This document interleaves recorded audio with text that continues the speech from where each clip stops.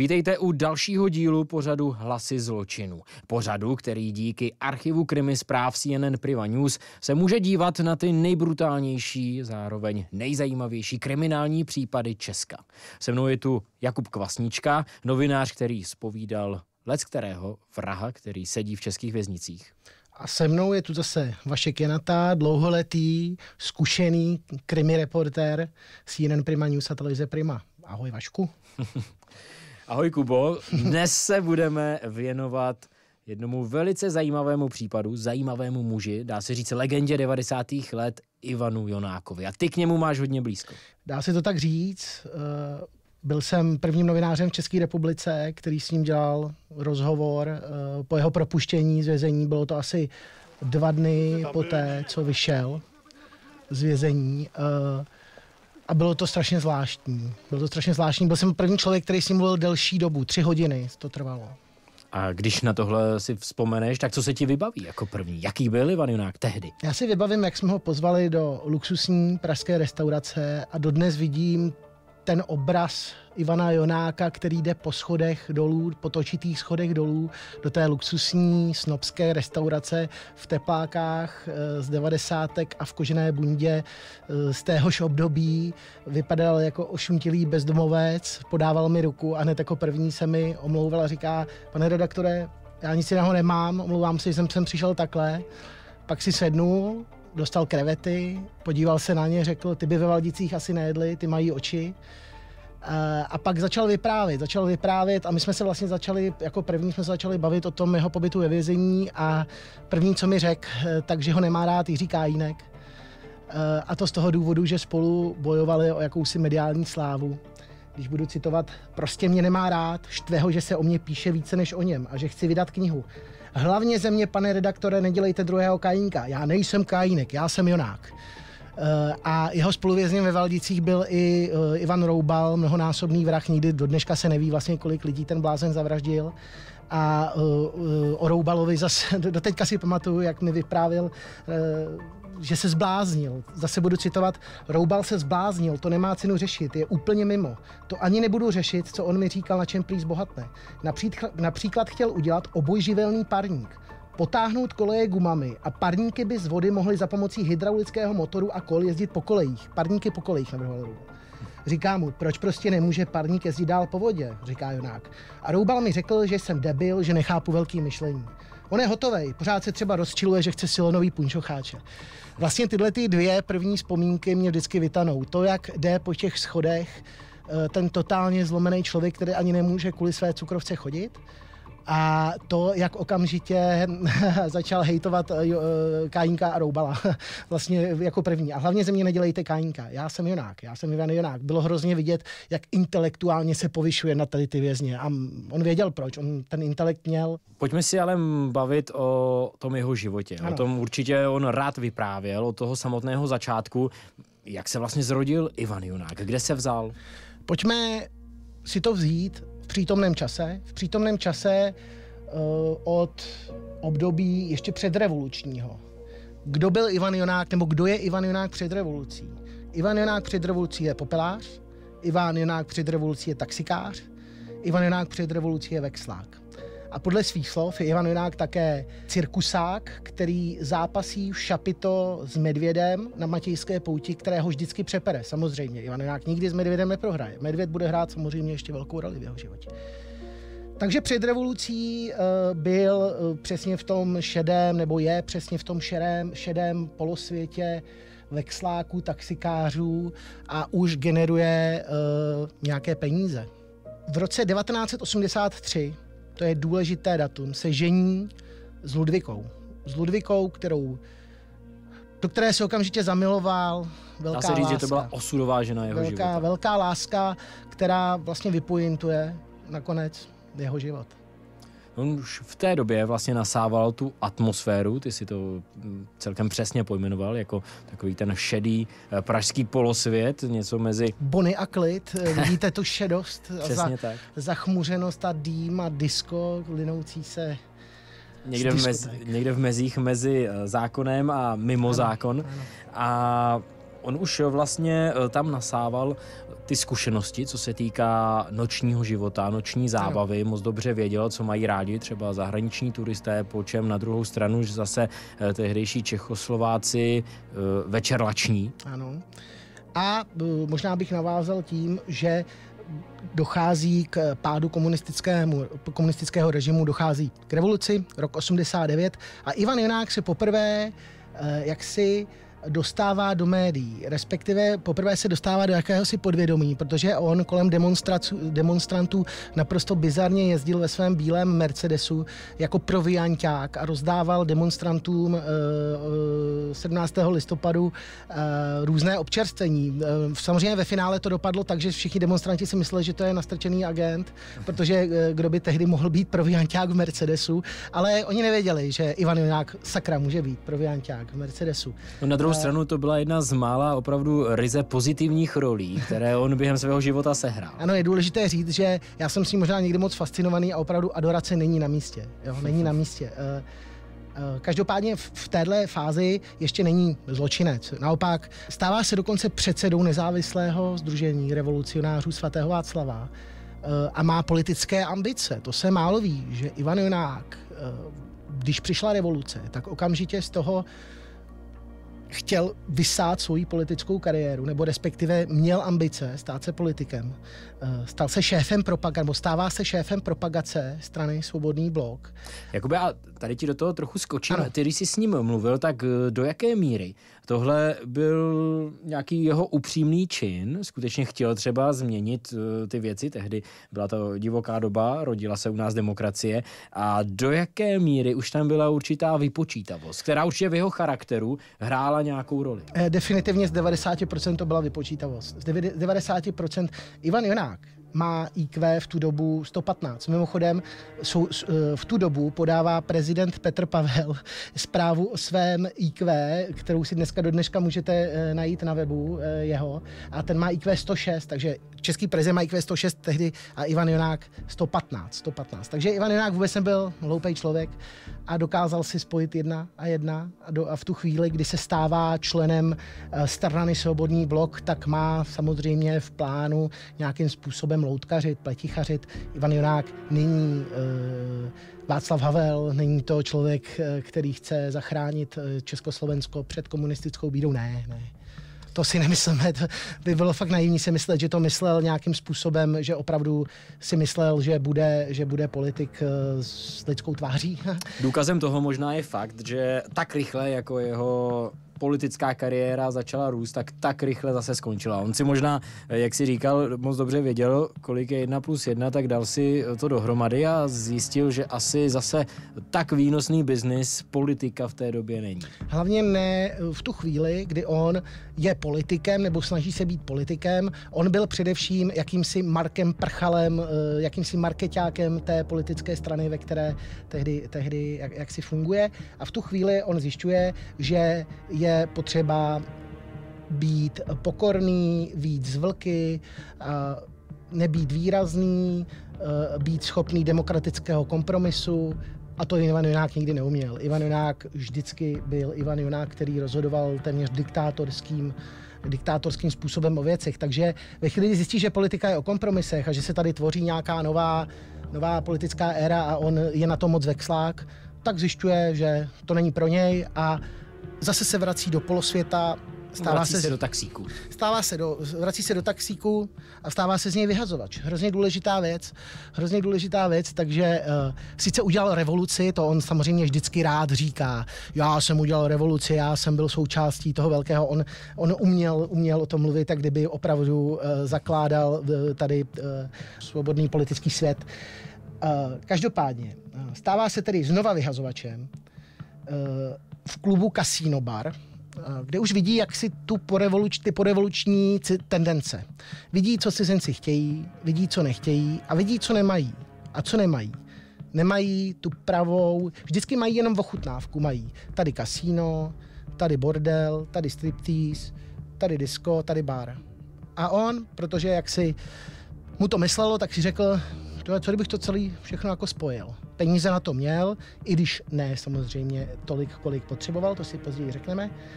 A v rámci té své vyhazovačské kariéry sleduje tedy, jakým způsobem nasává informace, protože opravdu dokázal se poučit z věcí, nasává informace a v roce 1992 zakládá se svojí ženou a s německým partnerem Helmutem Hugrem, což je velice důležité jméno, zakládá v roce 92 Discland Silvie. No, Hugr dodal ty potřebné peníze a Ivan Junák, dá se říct, v dnešním slovníku jakési know-how, protože, jak si říkal, tak on moc dobře věděl, co je tedy potřeba a táhla ho ta jeho ambice něco dokázat. Ne, ne každý vyhazovač samozřejmě touží potom si zřídit eh, vlastní eh, takhle velký diskolent, ale on tu ambici měl a dokázal ji dotáhnout až do toho zdárného konce. Tady je potřeba a ty už si to zmiňoval, to je v příběhu Ivana Jonáka velice důležité. Jaké byly ty majetkové poměry v Diskolendu Silvie? On v té době už, eh, eh, jak jsme zmiňovali, byla ženatý se svojí ženou Ludvikou, takže samozřejmě eh, s tou se musel dělit to svoje podnikání, nebo i rád dělil. Oni skutečně byli partneři nejen co se týká v lásce, ale dá se říct i v biznisu. A jak si správně říkal, tak přišel vlastně Huger, podnikatel z Německa, který eh, byl ochotný jim dodat ty potřebné finance. Tam to rozvržení vlastně majetkové bylo Jonák, Jonáková po 30% a Huger, ten měl podíl vyšší. Ten měl podíl 40. Když si to spočítáš jednoduchou matematikou, vyjde ti, že 60% měl Jonákovi a 40 měl Huger. Huger měl 40% nejvíc z nich, ale neměl samozřejmě většinu. A měl to z toho důvodu, že si na své jméno půjčil peníze, které Jonák potřeboval. Uh, Huger byl klasický takový ten porevoluční Němec, který hledá štěstí v Česku, takže rozhodně to nebyl žádný poctivý uh, manažer, podnikatel. No měl rozhodně víc zkušeností s kapitalismem tak, než tak, tehdejší Junáko. A sakra to uměl prodat. Ale každopádně uh, celé to tedy začalo tak, že obrovské přátelství, idylka zakládá nejmodernější diskotéku v Česku. Mimochodem ten diskolen Silvie pojmenoval podle své dcery uh, první. a, a t, no a pak byl ještě jaksi v mínus v patře v podzemí zázemí byl eh, striptýzový bar, který se nějak nestyděl pojmenovat po své druhé dceři Veronice, takže eh, když jste chtěli jít do striptizového baru, tak jste šli eh, k Veronice a když jste šli do baru, tak jste šli do Silvie. Mimochodem Veronika, najít klub Veronika v, pod v podzemí byl, byl opravdu místo naprostého hříchu. Když tady ocitu Ivana Jonáka z jeho knihy ta jeho poetika, on miloval samozřejmě ženy, to víme, a když popisoval stripterky a to, co se tam dělo kolem, eh, bylo to téměř poetické. Místo křídel roztahovali své dlouhé nohy, což bylo stejně krásné, jako by roztahovali andělská křídla. Takže takhle se tam dole děly různé neřesti. Mimochodem, Češi to měli za tři kila, ten striptease, cizinci za 500, poctivý kapitalista Ivan Jonák. No a uh, můžu tady citovat i další jeho, jeho opravdu bizarní pocity e, z té doby když host ozdobil dívku svým spermatem, tato obvykle tancovala dál, jako by si ani nevšimla hustého semene, které po ní stýkalo. Naopak často hosta položila, oblečeného pomočila a odběhla se umít. To už bylo až opravdu nechutné, akorát, že Ivan Jonák byl požitkář, takže mu to nějakým způsobem nevadilo. Ale uh, pojďme se vrátit o to patro výš. O to patro výš, to bylo prestižní, to byla prestižní diskotéka, to nebyl žádný pajzl. Je potřeba říct, že tohle byl skutečně splněný sen Ivana Jonáka. Ty si správně už říkal, že on tu diskotéku dokonce pojmenoval po vlastní vlastní ceny a po vlastní dceři a myslím, že to přesně dokládá to, jaký měl k tomu podniku eh, vztah. On skutečně si tohleto si celý život o tom snil, tohle si vysnil a pak, když se mu to povedlo, eh, tak eh, dokázal tu diskotéku opravdu povýšit na místo setkání nejrůznějších vrstev obyvatelstva. On vlastně tohle byla jeho největší síla. On možná nebyl ani žádný takový ten klasický mafián 90. let, tak jak, si ho možná, tak jak si je možná představujeme, ale měl neskutečnou sílu v tom, že dokázal tyhle ty světy spojovat. On dokázal spojit to uh, pražské podsvětí s vrcholnými politiky, se špičkami tehdejší policie a skutečně tam se setkávali mafiánští bosové se zpěváky, s herci, s politiky, uh, s veliteli, s řediteli uh, policie. Takové místo v Praze nebylo. Ivan Jonák navíc mm, tak nějak sám podporuje svoji mafiánskou image. Já měl jeden z prvních mobilů takový, to byl ten kuf, ten kufr velký, ne, to bylo ještě namontovaný v autě a před každým jsem machroval, jsem rozsvítil ten číselník a volal jsem z auta, no a spouštily se alarmy ve všech klenotnictvích, tak jsem si to všiml a bavil jsem se tím, protože tam byli policajti, zase zjistili, že se nic neděje, zase zpátky. Musíme říct, že zatímco dole se děly ty šílené věci, o kterých jsme mluvili, tak nahoře trávil čas Karel Gott, Guns N' Roses, Petr Janda z Olympiku a samozřejmě mafiáni. Na druhou stranu u vstupu hlídal David Berdych. Eh, na vstupu hlídal David Berdych, to je mikropříběh, který je fantastický, protože v, v Diskolendu Silvie ještě jen tak by the way vznikl Berdychův gang, protože ekonomický ředitel podniku byl Jaromír Prokop, který byl reálnou hlavou pozdějšího Berdychova gangu a Berdych po K tomu byl, se určitě ale ještě to je prostě na dlouho. Eh, Tam jsem moc v tom. Uh, pojďme zpátky, uh, pojďme zpátky do Diskolandu. Berdych hlídal na dveřích, samozřejmě nějakým mm, bitkám tam docházelo, ale v tu dobu to byl opravdu prestižní klub, opravdu 92 eh, a hlavně de, rok 93. Rok 93 to byl rozkvět Diskolendu. Kolik Je jste... potřeba říct, že tam bylo vybavení, které skutečně jste jinde neviděli. Tam byly stroboskopy, eh, světla, která jiná diskotéka prostě nejen v Praze, ale v celém Česku, nebo tehdy v Československu no. nebyla. To vybavení skutečně bylo zahraniční doslova. Přičemž, eh, přičemž Ivan Jonák eh, se dokázal strašně dobře ještě prodat, dokázal prodat ten podnik, takže kdo něco znamenal, tak musel trávit čas v Diskolandu Silvie. Dostáváme se k tomu marketingu. Ten skutečně, jestli něco Ivan Junák dovedl, tak strhnout na sebe pozornost.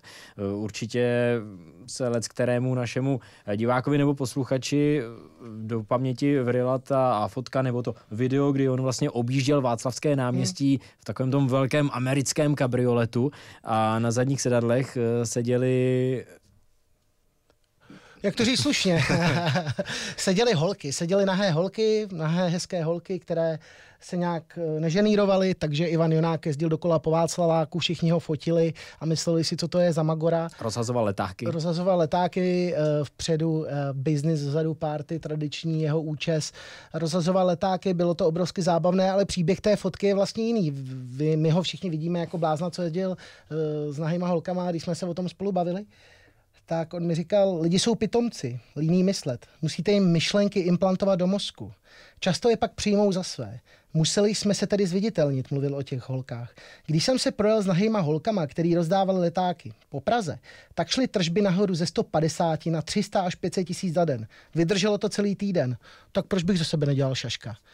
On byl mnohem chytřejší, než vypadal. To je důležité říct. On opravdu dokázal podchytit základní marketingové triky a dokázal je podchytit bez jakýchkoliv příruček, ale s nějakou svojí samozřejmostí. Opět, já ho nechci adorovat chci jenom ukázat jeho druhou stránku, že to nebyl uh, hloupý člověk, že byl velice sečtělej, svoji přítelkyni Plamínka přirovnával k uh, Nabokově Lolitě. Je potřeba říct, že Plamínek byla tedy přezdívka. Tak Plamínek o ní on mluvil. A Jahutka, mimochodem, to měl dvě přítelkyně Plamínek a takhle, takhle Jahutka. je pojmenoval.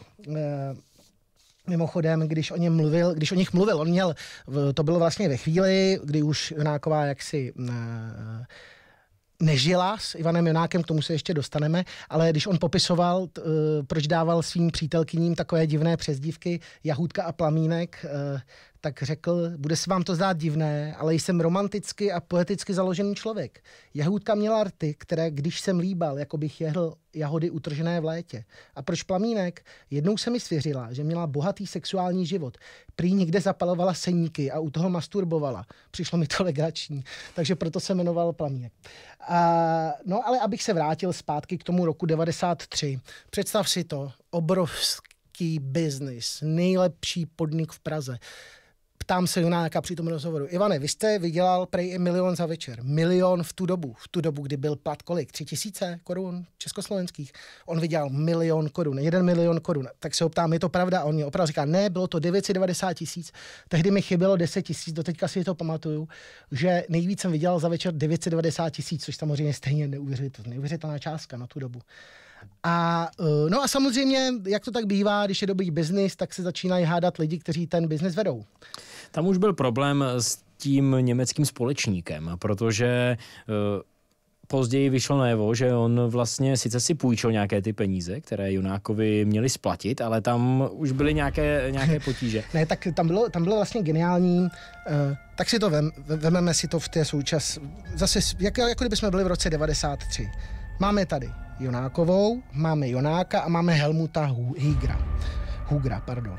Eh, Němec, který má 40, oni 2,30. Dochází tam k jakýmsi škatulatům, protože Jonáková eh, vzhledem k tomu, že Jonák jaksi je poměrně promiskuitní, ve svém životě měl 2147 žen, jak tvrdí, tak Jonákovou to je... Tvrdí on. Eh, tvrdí on, samozřejmě tvrdí on tak mimo stripter Leon mi vždycky říká, já už, ty, ty už tam byl přede mnou, vždycky to byla jeho známá hláška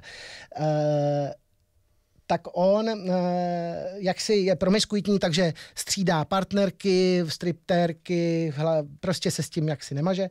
A do toho Ludvika Jonáková, smutní doma s dětmi, měl s dcerami.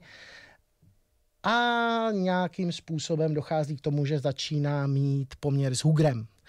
Dokonce v té fázi když měla poměr s Hugrem, tak on to věděl. On byl jakýsi, když to řeknu bizarně, průkopník polyamorie, protože oni se normálně podváděli a bavili se vlastně o tom, bavili se o tom, jaký je Hugr, jaká je tady ta holka a tak dále. Takže to bylo opravdu jako, to už byl v podstatě zvrácený, žijí ve zvráceném vztahu. Ty tři žijí ve zvráceném vztahu. Z těch jeho rozhovorů vlastně vychází ten fakt, že v určitém fázi jeho života se jeho životní láskou opravdu stal diskolent. A Ludvika šla, nechci říct úplně do Diskolenta pozadí. holky v tom diskolenta. Přesně tak. A on možná, nebo aspoň takhle celá ta věc na mě působí, že jemu v určitou chvíli začalo vlastně záležet víc na tom diskolendu, než na vlastní manželce. On, on věděl o těch nevěrách, ale dokázal si lehce spočítat, že ten případný rozvod by ho mohl o jeho milovaný diskolend snadno připravit. V podstatě hrály hlavní roli samozřejmě peníze, ne v podstatě, hlavní roli hrály peníze. Hrály roli peníze. No a docházelo k tomu, že tedy eh, Jonáková, Hugr, Jonák, prostitutky, striptérky, všechny různý možný plamínci, jahůdky. Eh, do toho se ještě Jonáková později zamiluje do Tomáše Vichtrleho. Tomáš Vichtrle je jeden z osobních strážců Ivana Jonáka, udělaný chlap. No a tady to je klíčový. Zamiluje se do Vichtrlého, nějakým způsobem tam ještě přetrvává něco s Hugrem, nevíme, co to je, prostě naprosto zvrácená, už, už to už je naprosto jako zvrácený sexuální příběh. Přichází tedy s Vichtrlem a Vichtrle láska. Vichtrle ji bere do svého skromného bytu v Petrovickém sídlišti, stěhuje se i s dětmi. Je potřeba říct, že Ludvika Jonáková se musela skutečně zamilovat, anebo zkrátka měla dost toho života po boku Ivana, protože byla ochotná se opravdu z naprostého luxusu přestěhovat do jednoduchého bytu panelákového v Petrovicích. Což je pražská periferie ještě za jižním městem. Mm, tam opravdu nej, luxus nenajdeš. Když jsi mluvil o tom luxusu Ivana Jonáka, eh, ten luxus byl klasicky jonákovský, okázalý. Není potřeba asi zdůrazňovat, co všechno měl. Auta Mercedesy, americká auta, to bylo vlastně normální lux, luxusní bydlení, všechno, všechno krásný byt v Discolandu vybavený, naprosto luxusně, ale samozřejmě zvířata. Zvířata Medvěd. Medvěd. Eh, tehdy on, eh, když ho konfrontovali s tím, že jestli to už není fakt snobismus, ten medvěd, tak on říká, já si nežiju nad poměry, medvěd není nad poměry, to je všežravec a žere zbytky. a mimo, mimo, mimo medvěda, o kterém jsme mluvili na začátku, měl taky samici královského hrozníše, krokodýla severoamerického, papouška aru, tři pitbull teriéry a dokonce k tomu medvědovi pak přidal ještě jednoho medvěda. Když byli ty medvědi malí, tak s nimi chodil na procházky, měl je na vodítku. Eh, jednou mu v Bohnicích, paradoxně kousek od léčebny, utekl a zazvonil u nějakého domku medvěd, protože se opřel před nimi tlapami a pán volal, já jsem z Bohnica, zvoní na mě medvěd. Nebyla to úplně uvěřitelná historka, ale zkrátka ve světě Ivana Jonáka bylo možné úplně všechno. A samozřejmě eh, to, jak dopadly ty zvířata, to už je méně vtipné eh, papoušek pošel, nemocný krokodýl, ten onemocněl, veterinární zpráva se ujala, myslím, že také nedopadl dobře. Ty medvědi pak taky nějak neskončily úplně dobře. Nemyslím si, že pak ty zvířata vlastně eh, dopadla, ta zvířata dopadla jako Ivan Jenák. Zpátky ale k Ludvice. Ano. to je vlastně ten případ, proč se tady o Ivanu Junákovi také bavíme, eh, protože Ona teda se přestěhovala do toho petrovického bytu a dokonce si sehnala i práci a začala pracovat jako zelinářka. Ona vlastně začala prodávat v plechovém stánku v pražských Petrovicích, prodávala ovoce a zeleninu. A Ivan Jonák se obával toho, co pravděpodobně tedy bylo na spadnutí, a to je rozvod a samozřejmě dělení majetku, včetně diskolendu Silvie. To byla první věc a zároveň velkou roli v tom hrály děti. Když se spekulovalo o motivu, který mohl mít později Ivan Jonák, tak se mluvilo právě třeba o dětech, protože ona si je vzala na to Petrovické sídliště a Ivan Jonák netušil, kde ty děti jsou a nechal eh, Ludviku sledovat. On věděl teda, že utekla s Vichterlem. On nějak nežádal, mu to bylo jedno. On, jemu šlo o prachy a o děti. O, o jeho dcery a samozřejmě o jeho podnik. Myslím si, že asi víc o ten podnik, no, uvidíme. Ivan Junák se zkrátka rozhoduje toho, že se musí své manželky Ludviky zbavit. Pravděpodobně si na to ale eh, neobjednává eh, žádné zkušené vrahy, přestože měl takzvaně tvrdých hochů kolem sebe asi dost. My už jsme zmiňovali třeba Davida Berdycha, eh, který dělal v Diskolendu vyhazovače. A je pořád otázkou, do jaké míry vlastně Ivan Junák rozhodoval o tom, hmm. koho si vlastně na tu vraždu objednal.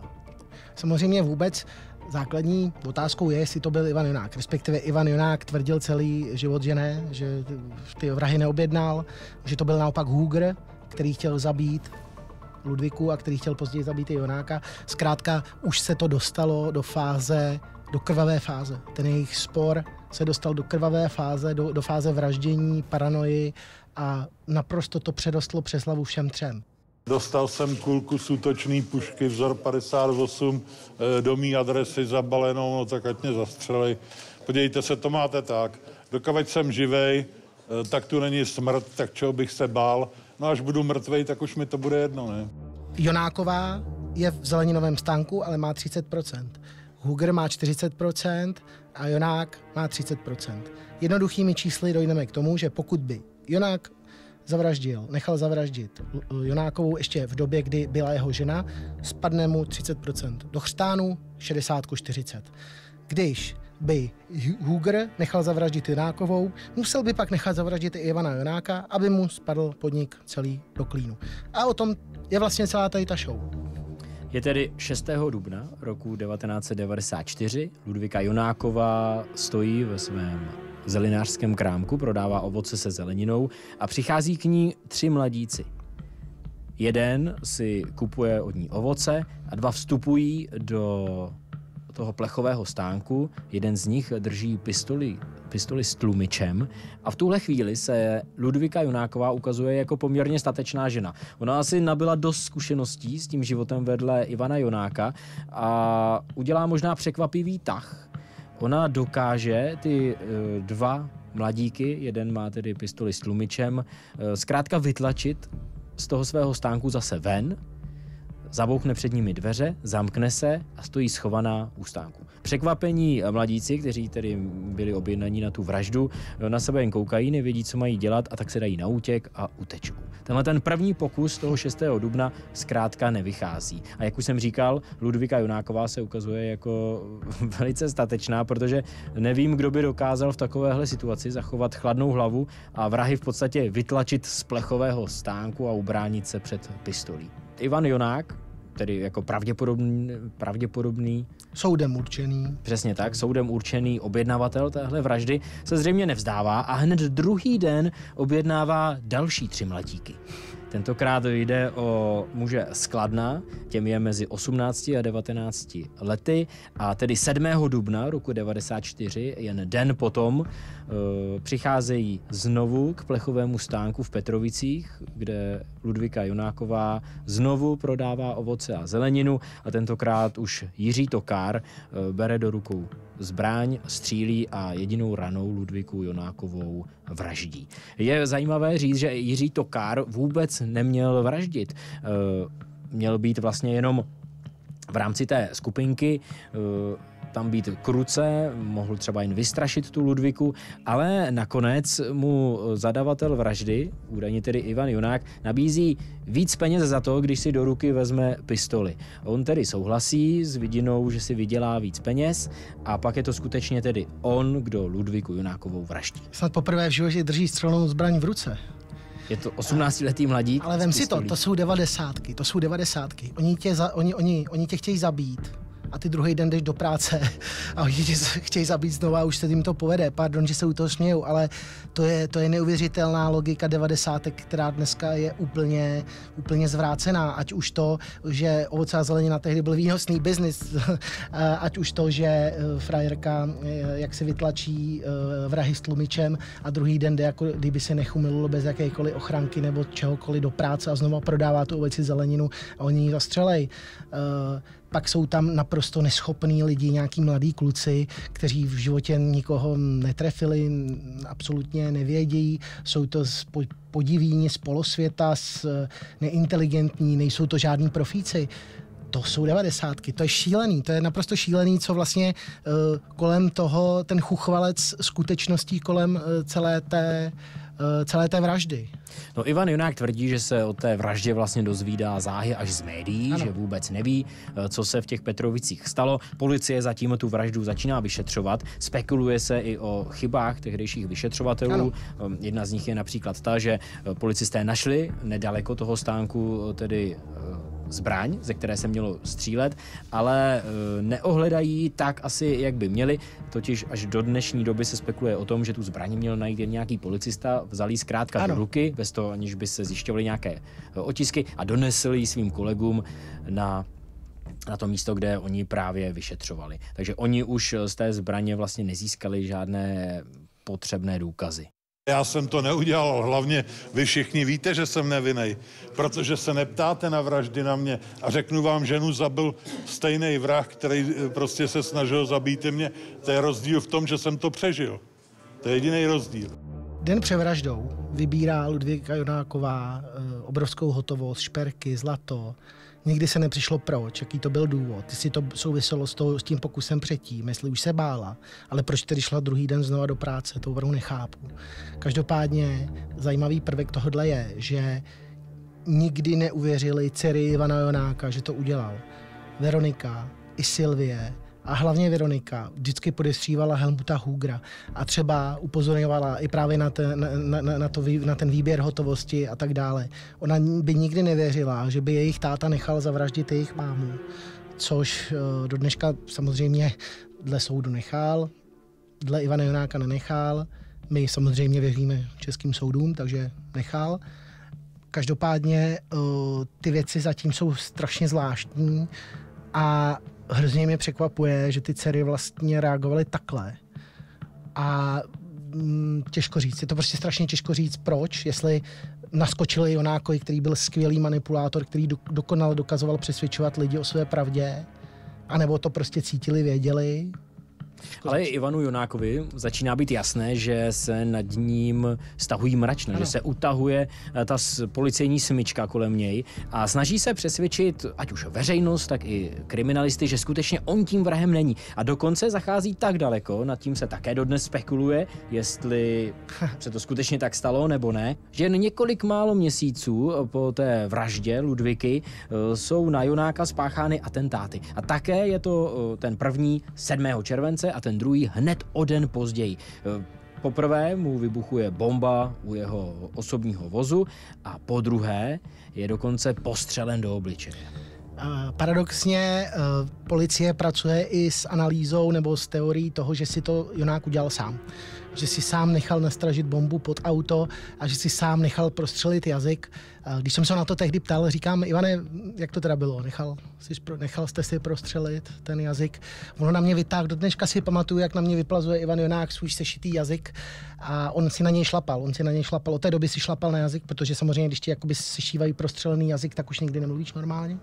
A takhle na mě vyplás a říká, to myslíte, to myslíte, udělal jsem si tohle sám. Já říkám, já opravdu nevím. A on říká, už jste si nikdy nesl, pane redaktore, jazyk v kapse? těžko říct.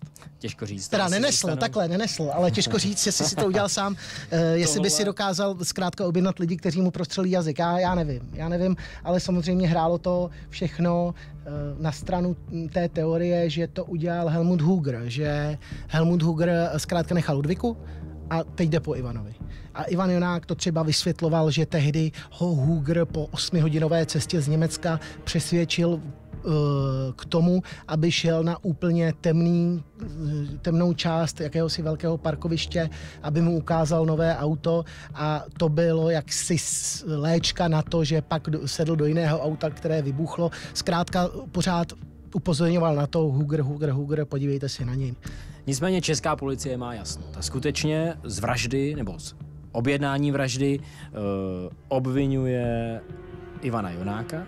Ona detektivové vypátrali Jiřího Tokára, který si také nejprve mluvil o Jonákovi, pak několikrát ještě měnil tu výpověď, ale policistům bylo jasné, že Tokár je ten, který střílel a pracovali i tedy s verzí, že Jonák je ten, který si tu vraždu objednal. A Tokár byl ale nepříliš důvěryhodný Rom, který neměl úplně uh, jaksi důvěryhodnost velkou, že jo? To, to je potřeba jaký říct. Nakonec ale tedy soud rozhoduje v roce 2001 uh, eh, o vině Ivana Jonáka a odsuzuje ho k 18 letům ve vězení. O rok později odvolací soud ten trest snižuje na 12 let a Ivan Jonák tak skutečně putuje do vězení. Ale co se děje se Silví s Diskolendem? Diskolend Silvie se mění. Diskolend Silvie se mění. Mimochodem, uh, jako striptérka tam začínala třeba Teresa Pergnerová, to se málo ví.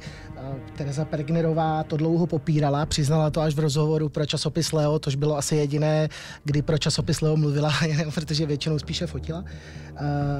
Jednou jsem tam šla s bráchou, koukala jsem na ty holky utyčí, vůbec nebyly sexy, povídala jsem si o tom s Borisem, s bráchou.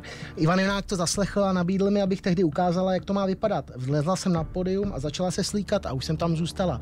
Podobně i další celebrity Ivan Jonák tvrdil, že v rámci toho eh, podniku, kde zval všechny tyhle ty eh, herce, herečky třeba vytáhl. On eh, doslova říkal, že udělal Kateřinu Brožovou, respektive, že udělal jí hereckou kariéru, že ji dostal na damu, tvrdil Ivan Jonák. Tato, tato několikrát popřela Kateřina Brožová, že vůbec se má s Ivanem Jonákem společného a tak dále. Takže bylo tam, nikdy nevíme, Ivan Jonák také říkal, že přepral medvěda, takže nikdy nevíme, co je pravda, co ne, ale každopádně z té celebritní, z té celebritní diskotéky z toho top baru se za Jonákovi nepřítomnosti samozřejmě stával větší a větší pajzl.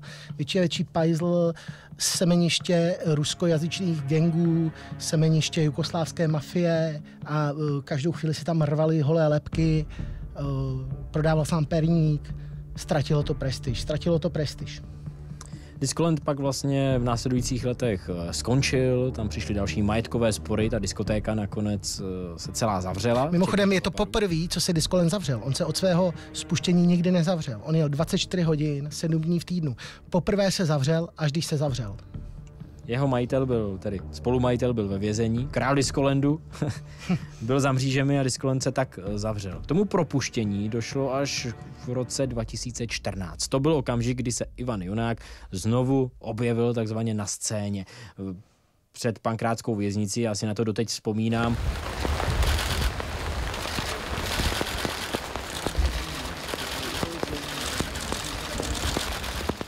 Geniální.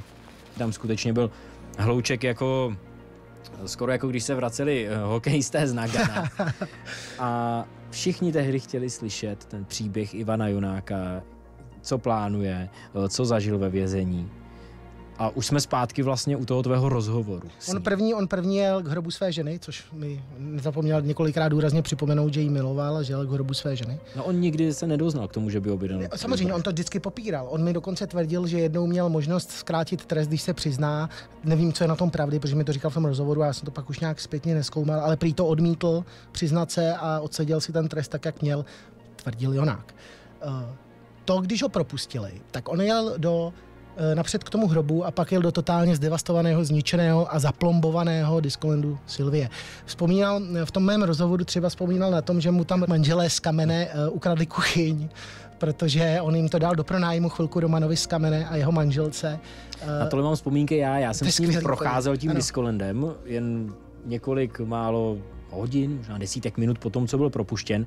A on skutečně před tou věznicí byl ještě plný optimismu, ale je potřeba říct, že jakmile jsme tehdy eh, s naším štábem a s Ivanem Junákem vešli eh, do té zničené budovy. Je potřeba to trochu popsat. Tam skutečně tam nebylo nic, tam nebyla podlaha, bylo vytrhané topení. To byly skutečně holé zdi, tam snad chyběla i omítka na nich. Tam skutečně ten, v tom Diskolendu nezbylo prakticky nic. A na něm bylo vidět, jak ho to neskutečně mrzí, jak je z toho stavu zklamaný. A v té době mu možná začínalo docházet, že obnovit ten Diskolend, to, co na to, co měl v plánu, na co, co ho možná ve věznici drželo při životě a dávalo mu to nějaké naděje, tak v tu chvíli mu možná začalo být jasné, že to vůbec nebude jednoduché. Mí eh, majetkový poměry jsou v mínusu, že jo. Jsem milionář eh, v červených číslech. A to jsem byl vždycky. Ivana, Ivan Jonák je potřeba říct, že zároveň neměl ani korunu. Neměl ani korunu. Byl úplně bez peněz. Měl jenom ty tepláky a tu koženou bundu, ze kterou se mnou přišel na rozhovor. Mimochodem, on to fakt nosil tři dny. Když se podíváme do archivní fotek, on nenosil nic jiného, než mu Filip Turek, myslím si, že to byl Filip, nevím kdo jiný, mu uh, koupil nějaké věci na sebe. K tomu byl vážně nemocný. Ano, já možná k tomu, kdo se o něj staral. Uh, vlastně jeho matka byla přesvědčená komunistka, byla ve straně vlastně pořád a svého, od svého syna chtěla platit nájem a tak a oni neměli dobrý vztah. Tehdy mi řekl, sere mě, no ale je to máma, no to víte. Protože taky se spekulovalo, jak moc tam hrála roli v celém tom, v celém tom zamotaném případu. No ale e, vlastně Ivana Jonáka se chy, chy, chy, chopil právě e, můj kamarád Filip Turek, se kterým jsem chodil na Jižáku na základku a nás to prostě strašně samozřejmě, my jsme v 90. vyrůstali, takže pro nás mm, vys, jaksi vzpomínky na to období, kdy my jsme byli děti a pamatujeme si ty novinové titulky, kdy to ten Jonák jak si všechno dělal a jak to do, do dneška si pamatuju ten rozstřílený stánek v Petrovicích, protože jak jsme ještě oba byli z Jižáku, tak to opravdu uh, celou tu uh, komunitu Jižního města, jeho se dá říct, že Petrovice pořád jsou jakousi součástí, eh, poznamenalo, takže eh, Filip zkrátka jako milovník brutalismu a devadesátek a všeho kolem eh, se toho Ivana Jonáka chopil a chci říct, že se ho chopil v dobrém. Určitě se o něj staral, určitě do něj dal hodně peněz a určitě se od něj dosudil neuvěřitelný historky, který mi vyprávěl. Vzpomenu na jednu, ještě než přeskočím zpátky, kdo se o něj staral, na to musím vzpomenout. Legendární historka právě s Davidem Berdychem, kdy David Berdych eh, eh, pracoval jako ochranka v Diskolendu a ukradl Ivanovi Jonákovi z kabátu 700 tisíc korun a zmizel. A už se nechtěl, on chtěl začít nový život, už nechtěl být ochrankou. Měl hm, nějaké v Cadillac, nějaké auto, prostě, které poznáte na ulici a Ivan Jonák jede v autě a vidí v protisměru, jak jede ten Berdych, který mu před týdnem ukradl 700 tisíc korun. Co udělá Jonák? Strhne auto do protisměru, nabourá do Berdycha, obou teče krev, vystupuje z auta, Berdych běží skrvavený, utíká před Donákem, ten utíká za ním skrvavený, devadesátky. Možná, že David Berdych by ten příběh vyprávěl jinak. Asi jo, asi jo. Samozřejmě Ivan Jonák ho pak chytil, zmlátil, 700 tisíc z něj dostal, Bůh jak to všechno bylo. Ale kdo se o něj staral. Samozřejmě byl tam Filip, který to myslel dobře a který opravdu jaksi nemá zapotřebí si na něm vydělávat peníze. Eh, chtěl spíš poslouchat, chtěl se dozvědět, jak to tehdy bylo. A když jsem se ho ptal, udělal to nebo ne, tak Filip dlouho uh, si myslel, že ne, ale do teďka si pamatuju, jak mi řekl, víš, ale jednou řek, když je tam překážka, tak se to musí vyřešit. Něco na ten způsob. Něco na ten způsob, kdy najednou v tom hlase cítil možná nějaký záchvěv toho, že to skutečně nějakého toho přiznání. Možná, možná. Dnešní díl se blíží ke konci a tím se dostáváme i ke konci Ivana Jonáka, protože on skutečně ty poslední měsíce už dožíval, ty jsi to řekl teď, eh, velmi vážně. Cukrovka, těžký cukrovkář. Samozřejmě se spekuloval o tom, jestli ten konec nebyl na ničí objednávku, protože Ivan Jonák tvrdil, já jsem rozhodoval i o zákonech v této zemi, já mám na každého politika složku. Byl to takový disko František Mrázek, respektive se tak prezentoval, těžko říct, jestli vůbec něco měl. Ty teorie o nějaké objednané vraždě jsou reálné, si myslím. On byl opravdu těžce nemocný, on opravdu uh, jaksi nemohl chodit a i když nikde pod tou vrstvou toho unaveného starého člověka, který opravdu někdy mumlal naprosto nesrozumitelně, si viděl to, tu jiskru toho krále Diskolendu, tak už na to neměl. Neměl na to a i když mi to sám říkal v tom rozhovoru, titulek toho rozhovoru byl Pořád jsem král, pořád jsem král, vrátím se, udělám velké věci, pořád jsem král. Viděl si to jeho sebevědomí, který tam měl z těch 90. let. To byly hlasy zločinu, které se tentokrát věnovaly Ivanu Junákovi, legendě podsvětí 90. let, ale zároveň je také odsouzenému objednavateli vraždy své manželky Ludviky. Vy nás můžete poslouchat a sledovat samozřejmě na všech online platformách a také na CNN Prima News.